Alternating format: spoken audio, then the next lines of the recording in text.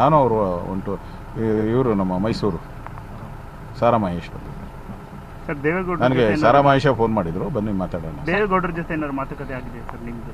ಇಲ್ಲ ಈಗ ಕುಮಾರಣ್ಣವರು ದೇವೇಗೌಡರ ಜೊತೆ ಮಾತಾಡ್ತಾರೆ. ಅವರು ಸೋಮವಾರ ಸಂಜೆ ನಾಲ್ಕು ಗಂಟೆಗೇನೋ ಕರೆದಿದ್ದಾರಂತೆ ದೇವೇಗೌಡರು. ಅಲ್ಲಿ ಮಾತುಕತೆ ಆಡ್ತಾರೆ.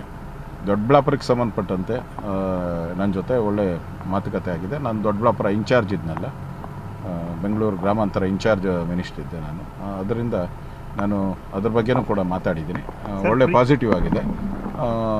ಗುಲ್ಬರ್ಗ ಬಗ್ಗೆ ಸೋಮವಾರ ಅವರು ಪಾರ್ಟಿ ಮೀಟಿಂಗ್ ಆದಮೇಲೆ ನಮ್ಮ ಜೊತೆ ಮಾತಾಡ್ತಾರೆ. ಸರ್ ಈ ಪ್ರಿಯಾಂಕ ಖರ್ಗೆ ಅವರು ಆಲ್ರೆಡಿ ಈಗ ಜೆ ಡಿ ಎಸ್ ಬಹುಮತ ಕೊಟ್ಟಾಗಿದೆ ಅನ್ನೋ ಥರ ಬಿಂಬಿಸ್ಕೊತಿದ್ದಾರೆ ಇನ್ನು ಅವ್ರ ಪಾರ್ಟಿಯಲ್ಲೇ ಗೊಂದಲ ಇದೆಯಲ್ಲ. ಕಾಂಗ್ರೆಸ್ ಪಾರ್ಟಿಯಲ್ಲಿ ಇನ್ನು ಸಿದ್ದರಾಮಯ್ಯನವರು ಡಿ ಕೆ ಅವರು ಎಲ್ಲ ಒಪ್ಪಬೇಕಲ್ಲ ಇನ್ನೂ ಒಪ್ಪಿಲ್ಲಲ್ಲ ಅವ್ರು ಯಾರು ಒಪ್ಪಿಲ್ಲ.